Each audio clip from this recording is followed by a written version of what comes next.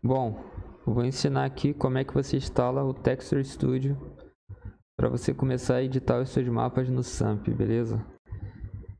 Para você editar, começar a editar usando esse programinha, você precisaria saber um pouco de, de como criar o seu próprio servidor no SAMP.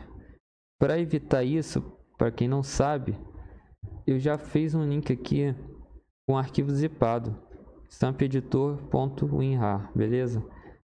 A única coisa que você precisa fazer é fazer o download desse arquivo e extrair ele. Pode extrair direto na área de trabalho, que ele vai criar uma pastinha que você vai ter esses arquivos aqui. Aqui já é o seu servidor pronto, beleza? Com o editor.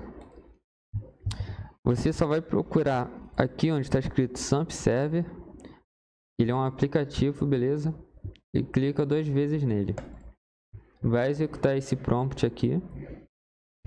Isso aqui diz que o servidor já está funcionando, beleza? O seu servidor já está disponível para você poder logar nele.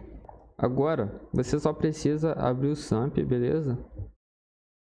E você vai adicionar um servidor.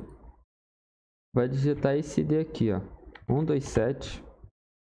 127.0.0.1 e dá OK. Você vai ver aqui que o servidor já apareceu aqui online, ó. Texture Studio 1.9. Essa janelinha aqui tem que ficar aberta. Se você fechar, o seu servidor fecha, beleza? Sempre que você quiser seu servidor online, essa janela tem que estar aberta. Mais um detalhe, esse servidor aqui, ele é local.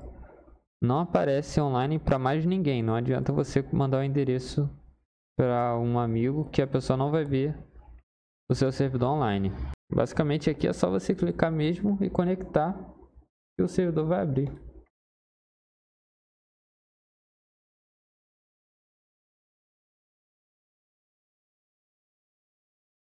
Bom, então esse é o vídeo aí.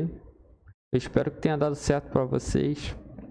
Se não deu, deixa no comentário aí o que deu errado, que eu vou tentar ajudar aí. No próximo vídeo eu vou ensinar como é que como é que edita nesse mapa aqui. Como é que usa o editor para vocês poderem começar a criar os seus mapas, beleza? Então é isso, valeu, abraço.